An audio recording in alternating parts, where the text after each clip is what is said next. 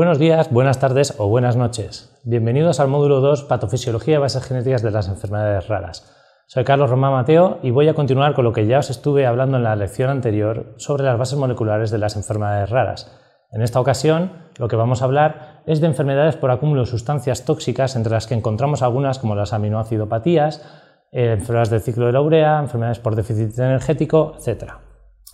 Bien, eh, revisando un poco donde lo dejamos en, el, capítulo anterior, estos defectos genéticos característicos de, las enfermedades raras afectan a enzimas implicados en rutas metabólicas. Por lo tanto, uno de los efectos a esperar es que se produzca una intoxicación por la acumulación de precursores metabólicos o por interrupción de los mecanismos degradativos, o bien que haya un déficit debido a la interrupción en las rutas de síntesis. Como ya, como ya señalamos, la acumulación de B puede llegar a ser tan mala o peor como la falta de C. Bien, en las enfermedades de las que hablamos hoy, eh, que tienen el epígrafe común de enfermedades por acúmulo de sustancias tóxicas, encontramos un gran número de enfermedades que se llaman aminoacidopatías. También da lugar a otras que se llaman acidurias orgánicas. Está todo relacionado con el metabolismo de los aminoácidos, como su nombre indica. Son enfermedades de intoxicación basadas en que este déficit enzimático provoca la acumulación de sustancias que resultan tóxicas para el cuerpo como el amonio, sin ir más lejos. Por lo tanto, la afectación es principalmente hepática, que es el, hígado es el órgano donde se dan estas rutas mayormente,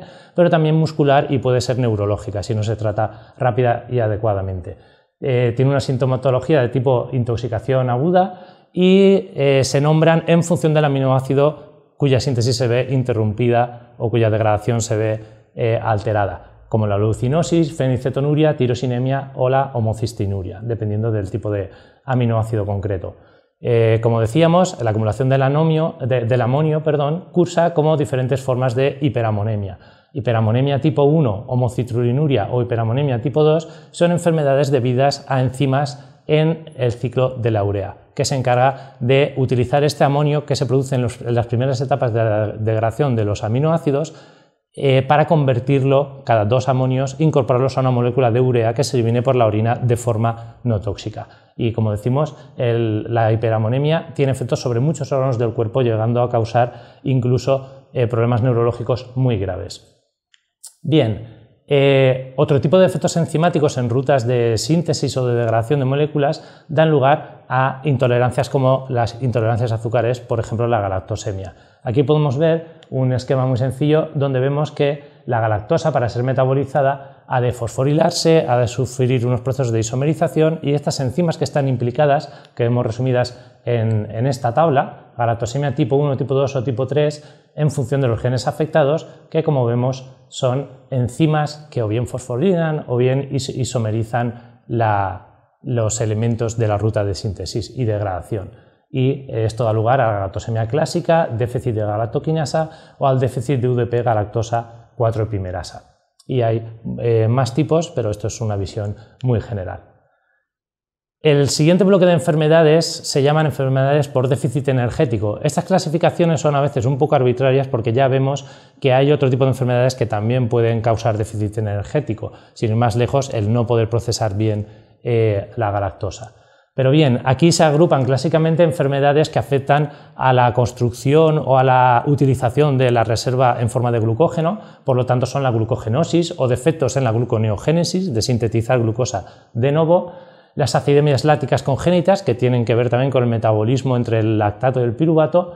y luego veremos otras enfermedades por déficit energético relacionadas con el metabolismo de los ácidos grasos. Respecto a la glucogenosis, eh, aquí tenéis unos cuantos ejemplos. Eh, también los tipos se pueden encontrar en forma de numeración tipo 1A, tipo 1B, tipo 3 o tener nombre propio como von Gierke, eh, enfermedad de Cori, etc. Y afectan a enzimas que están implicadas o bien en la síntesis del glucógeno, o bien en los pasos previos, o bien en la ramificación o desramificación del glucógeno, que sabéis que es crítica para poder producir una correcta movilización de glucosa en el organismo. Y por lo tanto afectan principalmente al hígado, pero también pueden afectar a otros órganos donde la gluconeogénesis, por ejemplo, sea muy importante.